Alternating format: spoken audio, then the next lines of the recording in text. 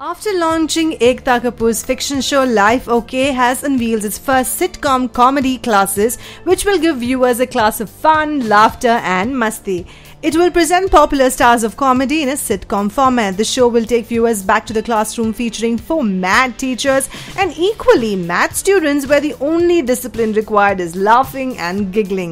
The sitcom is about an acting school called Achhe Din Institute with a crazy bunch of teachers and students. The class consists of mad teachers such as Krushna, the flirtatious and artful acting coach who is a struggling actor himself and does odd jobs for a living. Bharti plays a dance instructor whose competitors include Saroj Khan and Farah Khan. She has invented her own moves and grooves like Bharti Natyam and Gambra a mix of Garba and Bhangra. The conjures but romantic old music master Sudesh never misses a chance to mix two songs to create his original compositions.